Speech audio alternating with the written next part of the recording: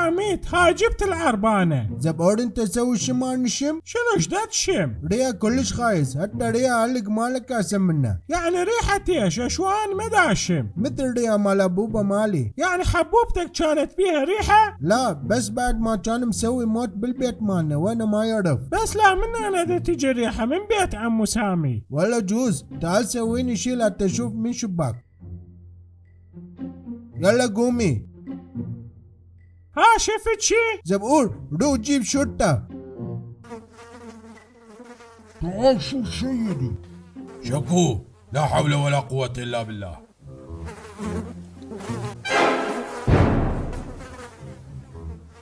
هاي وين متحزمات ورايحات أربعة جن؟ هذا محل مال مكياج راح يوزعون بيه مسكارة ببلاش. وإحنا ماخذات احتياطاتنا ورايحات هناك إيه يعني هاي المكسارة ما شو اسمها؟ تسوى تسوون دم على مودها اي طبعا.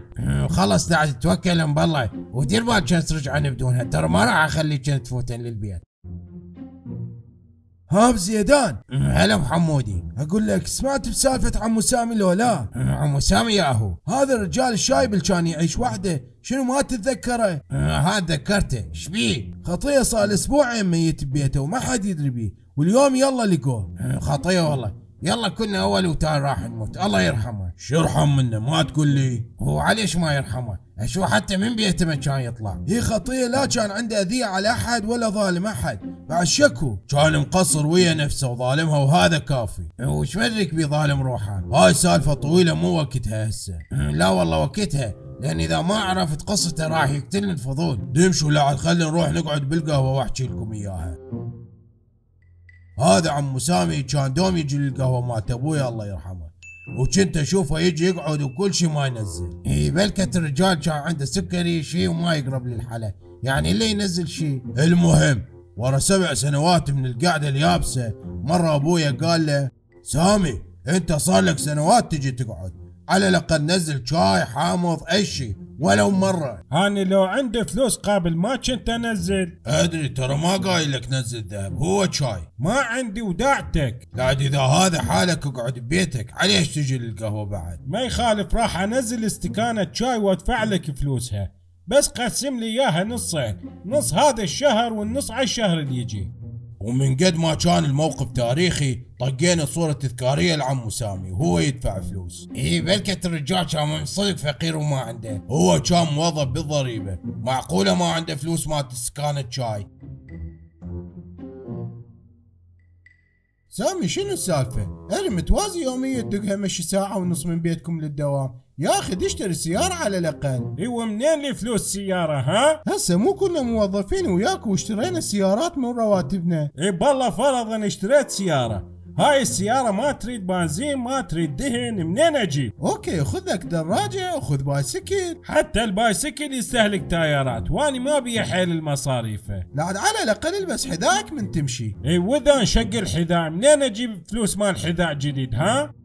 راح يوم وجا يوم وعمو سامي حب وحدة موظفة وياه بالدوام اسمها نجيبة. هاي نجيبة ما أدري وين كان عقلها من حبة سامي. أقول لك نجيبة بس الحساب انت دفعي لأن ناسي محفظتي بالبيت. خلي يولن سامي هاي ثالث طلعة وانت كل مرة على أساس ناسي محفظتك.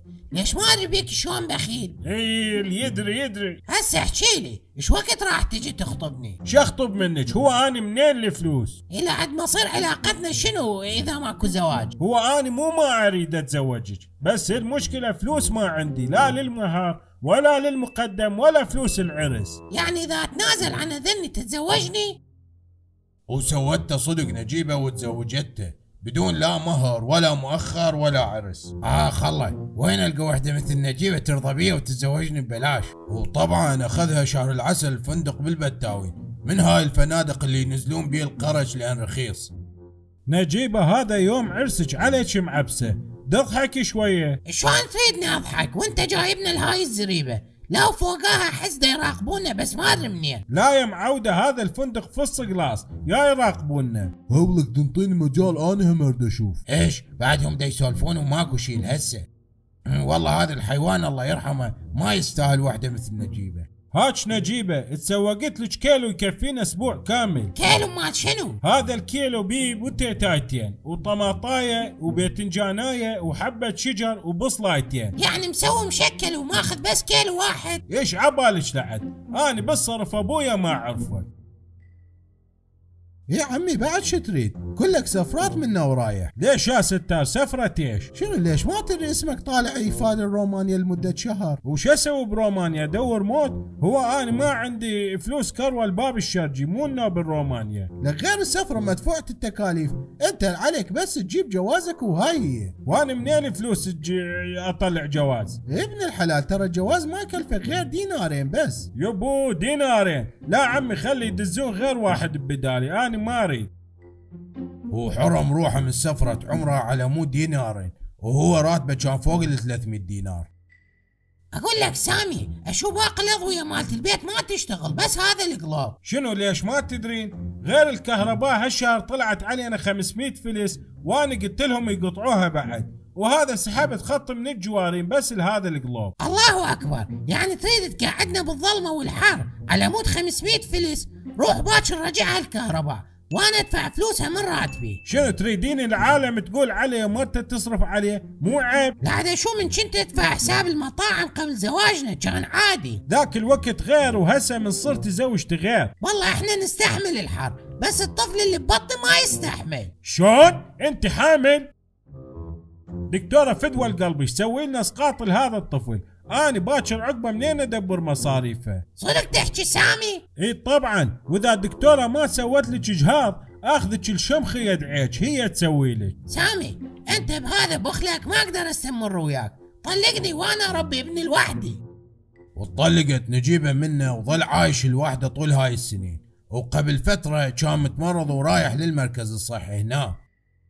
عمو سامي انت عندك التهاب بالاثنى عشري روح جيب باص بألف حتى اكتب لك بيه علاج. باصب الف ما أريد لعب. مو إذا ما أخذت العلاج يجوز يزيد الالتهاب عندك ويعبر لدمك ويموتك. ما يخالف خله أموت ومن صدق على مود ألف دينار قرر ما ياخذ العلاج ومات. أبو شوارب. انت قلت لي المرحوم كان موظف بالضريبة مو؟ إي بلي من السبعينات تعين وش وقت هو طلع تقاعد؟ وفوق العشر سنوات صار له متقاعد. يعني على هاي الحسبة بالقليل عنده فد 500 مليون ضمان شكو جوا راسك أبو زيدان؟ ها؟ لا لا ماكو شيء.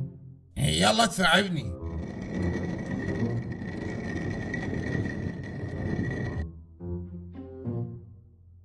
أها يمكن الخير بهاي الجنطة. هاي إيش تسوى بزيدان؟ ها؟ جبت فلوسي واريد أضمها هنا. خليه يولن هاي الفلوس مالت عمو سامي ولازم نصادرها. بس لا تخاف أنت حصتك قانونا 10% هاي لأن أنت لاقيها. وقفوا أخوان شو تصادرون أنا نظامي ابن ووريث سامي من مرته نجيبة. وهاي فلوسي وفلس أحمر ما اعطي منها لأي واحد. آه من مداني ومداحضي والله. إذا عجبكم الفيديو لا تنسون تدوسون like وتشتركون بالقناة وتفعلون الجرس حتى يوصلكم كل شي جديد.